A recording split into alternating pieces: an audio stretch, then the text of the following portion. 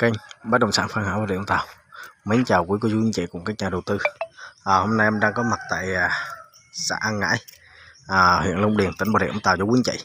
À, hôm nay em đứng trước à, đường đá mi à, 5 m cách đường nhựa Phan Đăng Lưu là tầm à, 100 m nha quý anh chị. À, tí nữa em sẽ quay ra quý anh chị xem. À, hôm nay em có sản phẩm là một lô đất à, sát vách nhà này luôn nha quý anh chị. À, ngang 5 m sâu vô 25 à, có 100 m thổ cư nha. À, giá đang ngộp nha quý anh chị. Giá chỉ có 1 tỷ 250 chốt thôi. Nói chung là lô đất này chủ đang à, đang ngộp tiền ngân hàng nên là mới bán rẻ cái giá này. À, giá bình thường hôm bữa là cách mấy tháng trước thì chủ đang kêu là à, 1 tỷ rưỡi lận. Nhưng mà nay à, cắt tiền ngân hàng á. À, nên là kêu giá chỉ có à, 1 tỷ 250 à. à lô đất này nha quý anh chị sát với nhà này luôn. Ngang năm sâu 25 có 100 mét thổ cư nha quý anh chị. Đây dân cư ở kính hết rồi nha đường à, đường đá mi nha quý anh chị. À, đường đá mi à, 5 mét đường ô tô vào tới nơi nha. Đây dân cư ở kính hết rồi nè. À, à, phía trước mình là sân bóng ăn ngãi nè. À, chợ ăn ngãi đây. À, đây là sân bóng ăn ngãi nè. Trường học ăn ngãi đây luôn. À, quý anh chị quan tâm mình cứ liên hệ cho em nha.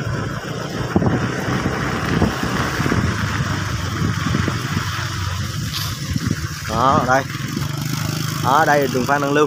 À phía bên kia. Phía bên kia là là là, là công an huyện Long Điền nha quý anh chị. À, công an huyện Long Điền đây. Đây ra quốc lộ 55 nè. À, lô đất mình trong này. À, nói chung là đường à, 5 mét đường ô tô vào tới nơi đường đá mi quý anh chị. À, ở đây được cái là gần chợ An Ngãi này gần trường học gần quỹ ban. Đây sân bóng An Ngãi đây. À, lô đất à, nói chung là chủ đang nộp tiền nên là mới bán cái giá này cho quý anh chị. À, ngang 5 mét sâu 25 à, có 100 mét thổ cư rồi à, mà giá chỉ có à, 1 tỷ 250 thôi. À, mấy bữa trước là kêu là kêu em ra là 1 tỷ tư 1 tỷ rưỡi lần nha quý chị. À, nay nộp tiền ngân hàng nên bán rẻ nha. Rồi để em quay cái sổ cho chị xem nha.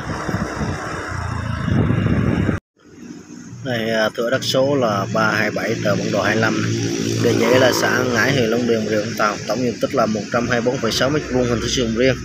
Mục đích sử dụng là 100 thổ cư còn lại cây lâu năm cho quý anh chị đây đó. đường trong sổ, đường đất nhưng thực tế đường đá mi nha quý chị ngang năm sau 25 đó. có 100 thổ cư đây nha đó. tới quy hoạch chúng quý xem đây đó. ngang năm sau 25 này hơi mờ tí nha đó. đất rất là vuông vức nha quý chị đó, là tờ 25 thửa 327 nè đó. rồi, cảm ơn quý anh chị đã xem hết video không quên cho em một like và đăng ký kênh nha